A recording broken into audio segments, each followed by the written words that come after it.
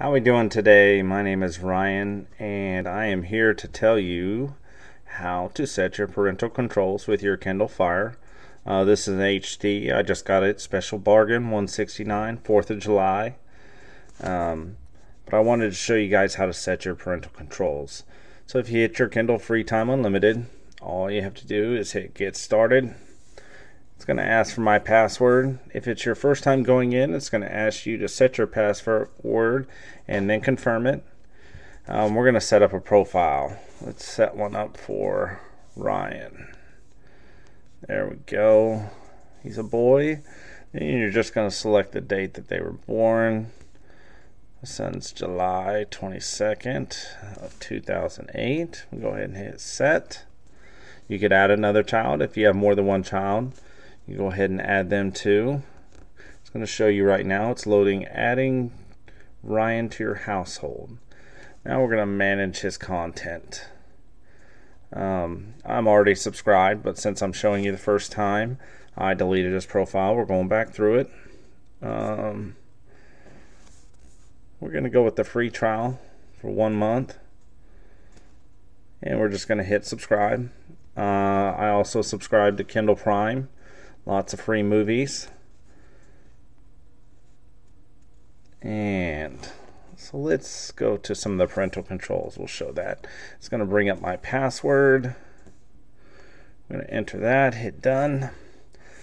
All right, you can set time limits. This lets you know how long they can get into anything.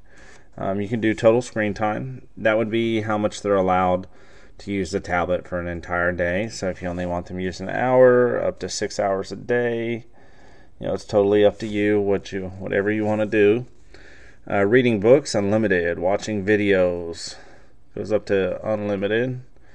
So you only want them an hour watching video, an hour watching apps, but they can read as many books as they want. All right.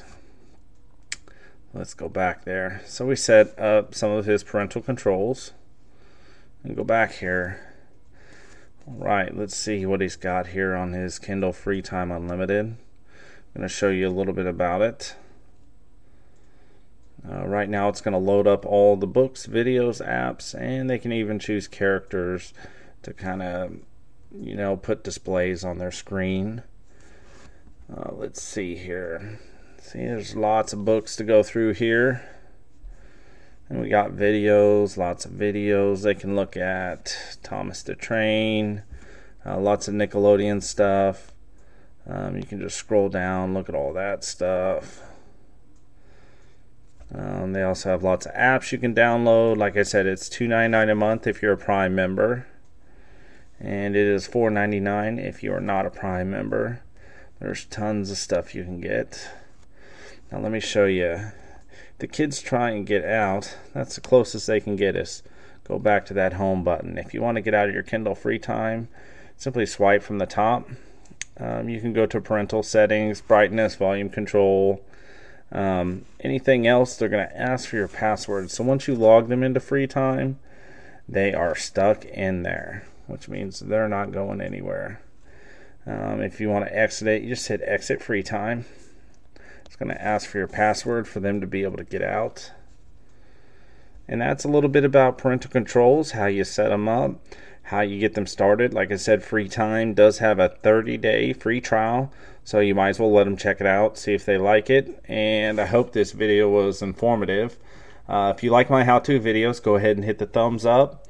Or you can also visit my site, kidstabletwifi.com. It's all about helping parents uh, with the how to's of running the tablet. And it's also about connecting these kids with all kinds of content to help them out. Uh, I hope you enjoyed this video. Thanks.